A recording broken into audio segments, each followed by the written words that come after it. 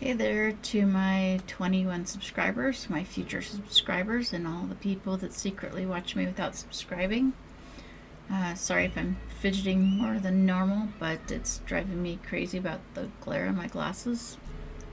If anybody has an idea of how to fix that, let me know. And um, today I want to talk about Chapter 3, The Beginning of Education, in my book Adrift of Pawns.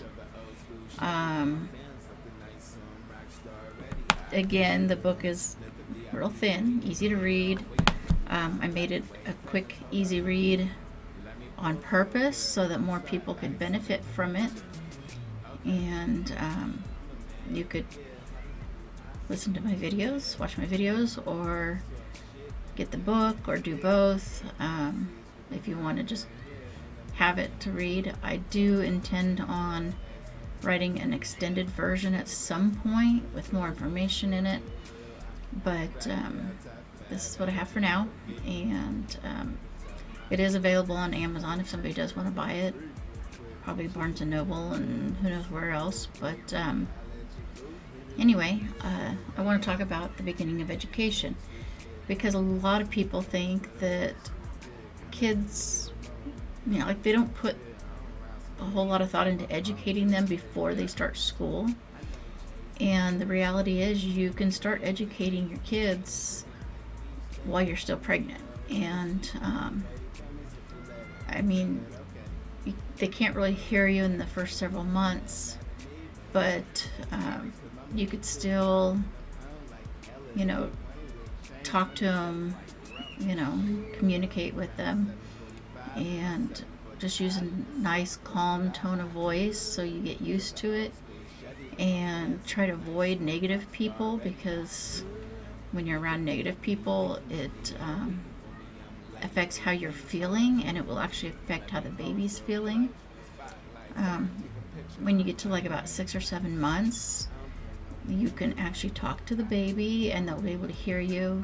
And that's the time when you really want to start concentrating on like reading little books, nursery rhymes, um, reciting the alphabet, counting, um, and just communicating with your baby so that the baby learns to uh, respond to your voice um, and talk to them in a soothing way so that, you know, once they are born, they'll get used to just kind of relaxing and fall asleep easier when they hear your voice.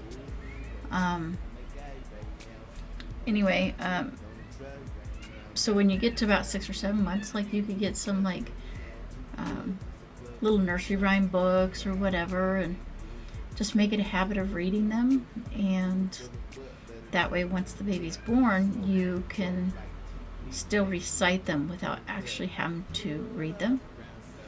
Um, that way you can look in your baby's eyes and they can watch your face as you're reciting what the stories were or the nursery rhymes or the counting or whatever it is. And um, they'll benefit a lot more from that if they can look into your face and watch your face while you tell them the stories. And then when they get a little bit older, you can hold the books up so they can look at the pages, so they can see the colors and the shapes and the words as you're reciting it. And it's very important that the kids learn um, all the different shapes and colors and things and, and make those connections when they're infants because it'll help them learn later. And um, you know, you can sing with them and just kind of, you know, count random things.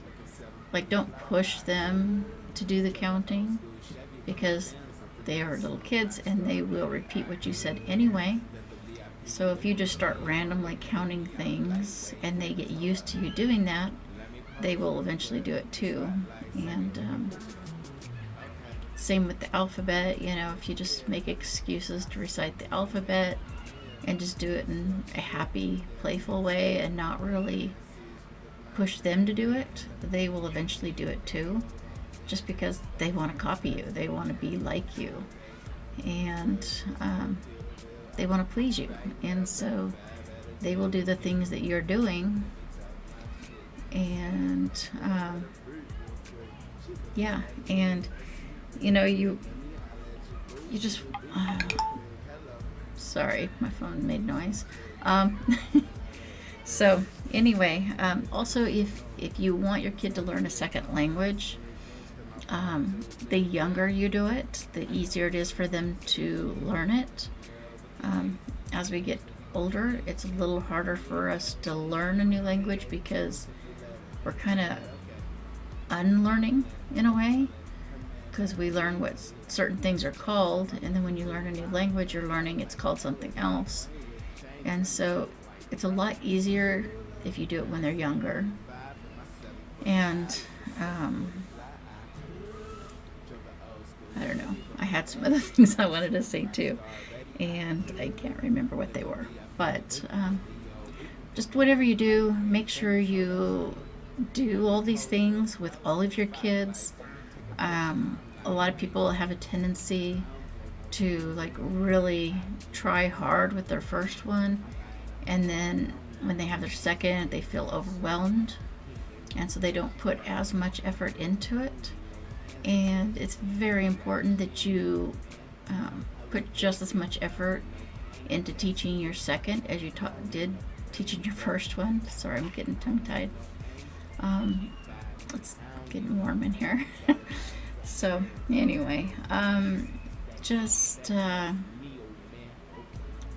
be encouraging to your kids and show them like that learning is fun.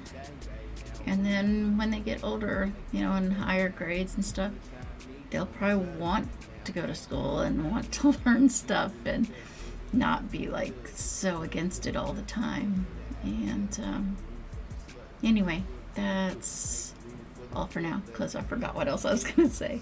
But um, anyway if you have any questions leave them in the comments below. And um, like subscribe.